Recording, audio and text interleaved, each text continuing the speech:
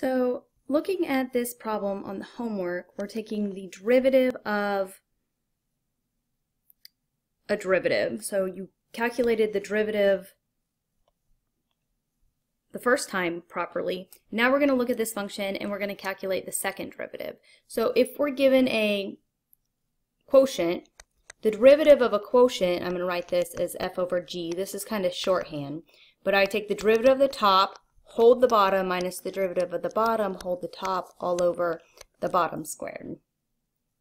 So looking at this function, and I want to take the derivative of the derivative, the second derivative of the original function, I take the derivative of the top, which you say 2x plus 2, hold the bottom, x plus 1 quantity squared, minus the derivative of the bottom, which would be 2 times the quantity x plus 1, hold the top, which I get x squared plus 2x minus 4, all over the bottom squared, which in this case would be x plus 1 squared to squared.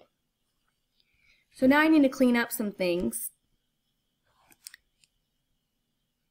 Here I have this x plus 1 term, and I have an x plus 1 term here, so I can factor out an x plus 1 and I'm left with 2x plus 2 times x plus 1 minus 2 times the quantity x squared plus 2x minus 4 all over x plus 1 squared squared.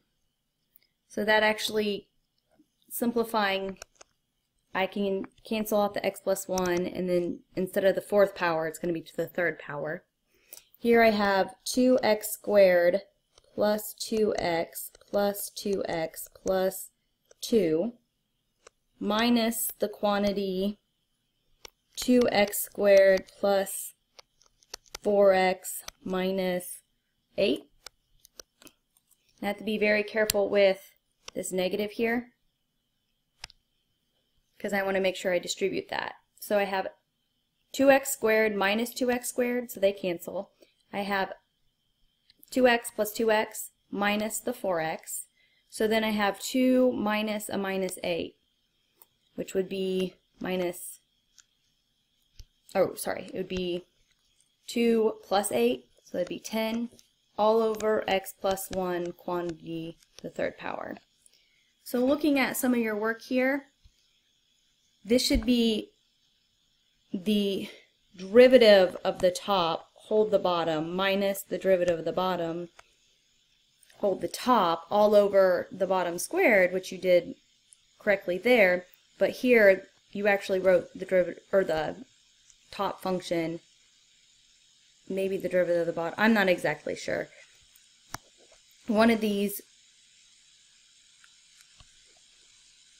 went wrong here. So the derivative of the top, hold the bottom, minus the derivative of the bottom, hold the top, all over the bottom squared. So hopefully this helps. If you have any other questions, please let me know.